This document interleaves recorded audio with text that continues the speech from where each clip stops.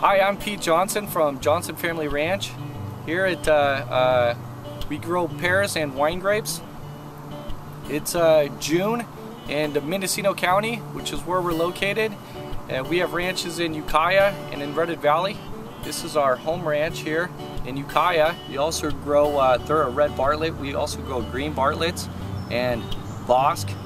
And uh, we have a pear packing house. My family had came to Mendocino County and to Ukiah and Redwood Valleys in the 1870s. They came across the country on a covered wagon and uh, settled here in Mendocino County because of its natural beauty and because of the the diversity of crops that could be raised here.